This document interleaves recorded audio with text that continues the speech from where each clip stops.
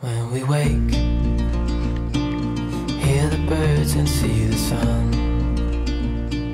Side by side, our fears are done. Oh, the good times just begun. Hallo Freunde, es soll ein Update geben. Es ist Anfang März und ihr wollt sicher wissen, wie es weitergeht, nachdem wir oben im August das Nordkap äh, umrundet haben, oben nördlich von Honstrad, die nördlichste Spitze. Und wir haben ja gezeigt, wie wir dort ankern und ich will euch kurz erzählen, wie es weitergeht. Anfang März, eingeschlossen von der Pandemie, oder die Pandemie hat die ganze Welt im, im Griff. Keiner weiß so richtig, ob man reisen kann, wie es weitergeht. Ich habe schon einiges gehört. Portugal zum Beispiel sind alle Häfen geschlossen. Man kommt da wohl als Sportbootsegler nicht rein. Eigentlich unvorstellbar, wenn man draußen in Seenot vielleicht gerät, ist der Hafen geschlossen. Das weiß ich alles nicht so richtig und das gilt es halt zu überprüfen. Also nicht, dass ich jetzt nach Portugal will, aber so, den Plan gibt es bei mir nicht. Und mein Plan ist erstmal, ich bin jetzt in Norddeutschland, ich bin jetzt äh, noch bei Antje und sie kommt dieses Jahr nicht mit oder begleitet mich erstmal nicht. Das müssen wir dann mal sehen im Laufe des Jahres wie sich das verhält mit, der, mit den Reisemöglichkeiten und mit der Chance, mit dem Flieger nachzukommen. So, das wissen wir alles noch nicht. Das ist alles noch recht ungewiss. Ein guter Freund, der Michael Johansen, der bringt mich nächste Woche zur Fähre oben in Hitzhals in Dänemark. Von da aus geht die Fähre dann nach Island, nach Sedisfjordur für drei Tage. Ich werde auf der Fähre sein mit meinem ganzen Gepäck, mein ganzes Übergepäck, Werkzeug und alles, was ich noch mitbringen will für mein Boot, Ersatzteile und ein paar Kleinteile noch. Und werde dann in Cedis für mir einen Mietwagen nehmen, um dann einmal über die Insel zu fahren. Ich weiß noch nicht, ob ich die Nordroute nehme oder die Südroute. Das, die Südroute ist etwas länger, aber dafür vielleicht entspannter, vielleicht nicht allzu viel Frost und Glatteis oder so. Das muss ich dann mal sehen, wie es vor Ort läuft oder wie überhaupt meine Reisemöglichkeiten auf der Insel sind. Ähm, ich weiß es noch nicht. Ich habe ja die Bürger-ID im Prinzip steht nichts dagegen, dass ich auf der Insel reisen kann. Das einzige Problem wird sein, dass wir nach Dänemark kommen. Aber mit einem Fährticket dürfte das gar kein äh, Problem sein. Wie es weitergeht für dieses Jahr, ich habe keinen so richtigen Plan mal wieder. Ähm, das erste Projekt ist, ich werde 40 Tage Quarantäne mal ausprobieren. 40 Tage autark, irgendwo in Hornstrand, ohne Kontakt zur Außenwelt, ohne richtigen Kontakt. Ich habe ein kleines InReach, ein kleines Satelliten. Navigationsgerät, das über Satelliten Nachrichten verschicken kann. Erzähle ich später vielleicht noch mal was dazu, zu der Technik, Kommunikation. Ich werde diese 40 Tage im Norden verbringen, in den Fjorden. 40 Tage ohne Anlegemöglichkeiten, ohne Zufuhr von Energie, Lebensmittel oder Kontakt zu anderen Seglern oder Fischern. Da oben ist es wirklich menschenleer, da oben. Das werde ich mal ausprobieren, wie, wie es sich anfühlt, mal autark lang unterwegs zu sein. Also ich werde auch unterwegs sein. Ich werde entsprechend dem Wetter werde ich das anpassen, wo ich in welchen Fjord ich anker. Vielleicht fahre ich auch noch mal zurück zum Kap Horn, oben in diese wunderschöne Bucht. In der letzten Folge haben wir ja berichtet, wie wir zum Kap Horn gesegelt sind und wie wir da oben geankert haben.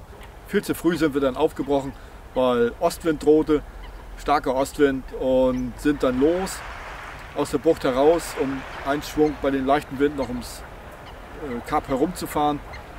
Doch draußen wehte kein Lüftchen. Auch nach vier Stunden stellte sich gar kein Wind ein. Absolute Flaute, glattes Wasser, keine Wellen, kein Kappelwasser.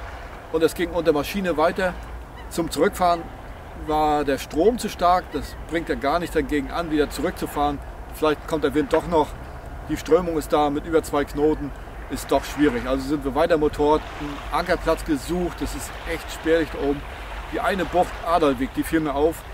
Da sind wir dann rein. Da habe ich gesagt, das müssen wir mal probieren, ob wir da nicht bleiben können, bevor wir noch 25 Meilen weiter nach Isafjordur Motoren. Das bringt ja dann gar nichts. Also sind wir rein in die Bucht. Da war dann doch noch ein bisschen eine Abendbrise, sodass ich Segel setzen konnte. Das letzte Stück, dann sind wir zum Ankerplatz Motort, um dann auf 7, 9 Meter ungefähr Wassertiefe schön zu ankern. Haben auch einen schönen Platz gefunden, das war fantastisch. Hatten dann noch einen super Sonnenuntergang abends. Das war richtig, das war eine gute Entscheidung, dass wir da reingefahren sind. Und während Antje noch mit dem Armut beschäftigt war, habe ich meine Angelrute genommen und die Zeit gestoppt und habe wirklich in 10 Minuten 10 Dorsche gefangen. so einen Berg, um ordentlich mal auf Vorrat zu gehen, wieder Trockenfisch anzusammeln oder zu horten. Und für den Kühlschrank war was dabei. und was zum Fermentieren, zum Einlegen, um das wir in Öl vier Wochen haltbar zu machen. Also das war echt ein lohnenswerter Angelausflug. Peter Jahl. Am nächsten Morgen, der Himmel begrüßt uns mit äh, leichten Nieselregen und leichten Nordwind, das war ganz gut. Ich habe trotzdem nur die Genua gesetzt vorne, ein Segel. Ich wusste nicht, wie die Winde so den nächsten Kap sind. Die Bucht Adelwig liegt da südlich von diesem Kap Straumes. Kap Straumes ist das Naturschutzgebiet mit der größten Polarfuchspopulation. Wir haben leider keinen gesehen, auch am nächsten Morgen bei dem trüben Wetter noch nicht. Ja, dann sind wir bis zum Kap rum. Hinter dem Kap tatsächlich der absolute Flaute, Wirbelwind gegen an, ähm, Kappelwelle, drehende Winde.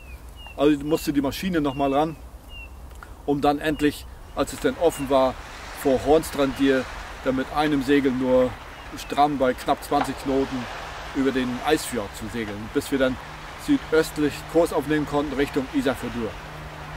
Das haben wir dann geschafft und Wahlsichtung war noch dabei und auch zwischendurch ein paar Windhosen, ein paar Windwirbel, kleine Tornados. Auch das haben wir zum Glück nur mit einem Segel abwettern können oder absegeln können. Der Wind kam ziemlich von hinten, das war ganz okay.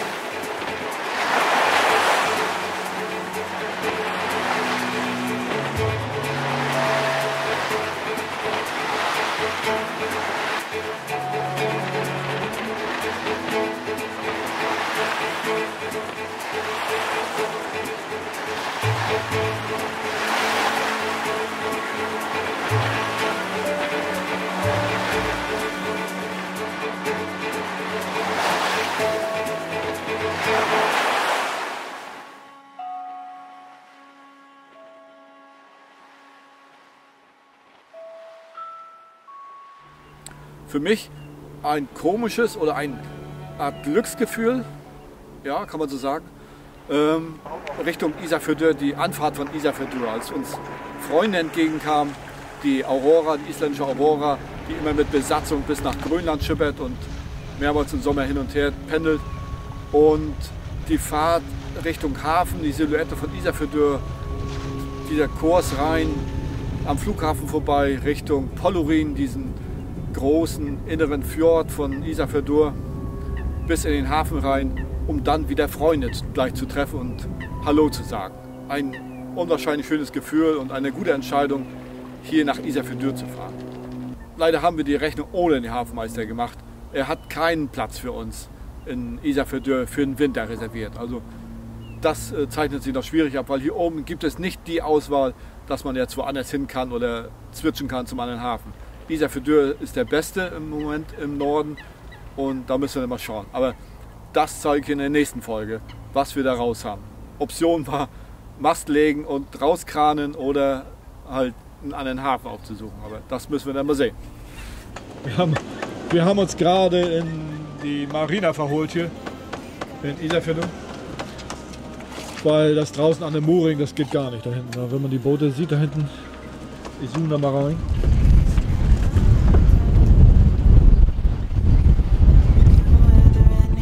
Die tanzen da ordentlich, die Boote.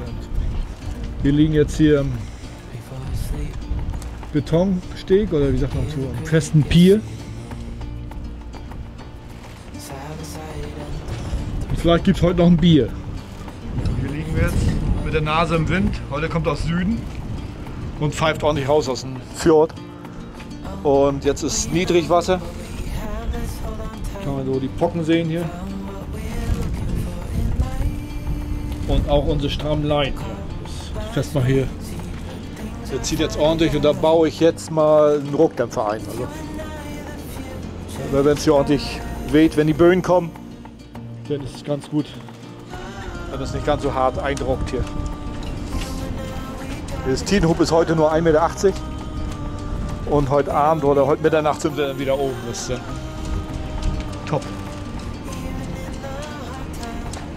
Jetzt müssten wir die Leiter da vorne hochsteigen oder hier durchs Holz klettern, das geht auch natürlich. So, den werde ich jetzt hier austauschen gegen einen Ruckdämpfer, dass es nicht so knarrt und nicht so hart einruckt hier immer.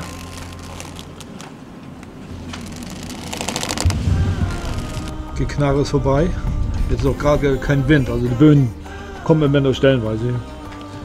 Aber der Ruckdämpfer kann jetzt hier arbeiten. Und die beiden habe ich nochmal als Reserve, falls das alte Seil hier durchreißt oder scheuert. Das ist auch bloß hier durchgezogen. Also das ist auch nicht die beste Lösung, aber als Ruckdämpfer ist es top. Auf jeden Fall knarrt es nicht mehr. So, und dann muss ich noch eine unglaubliche Geschichte erzählen. Der Fender hier, den habe ich heute gefunden. Beim Spaziergang im Hafen. Und da steht, kann man das sehen? Da steht X-Trip drauf. Das ist meiner. Den habe ich vor zwei Jahren hier verloren im Winter. Da ist das Seil hier durchgerissen. Und dann war er weg. Und den habe ich heute wieder gefunden. Ja. Wieder ein verlorenes Kind wiedergefunden. Hear the birds and see the sun. Side by side, our fears are done. Oh, the good times just begun. Oh, we know what we have, let's hold on tight. Found what we're looking for in life. Call us crazy, but things are finally right. With you and I, the future.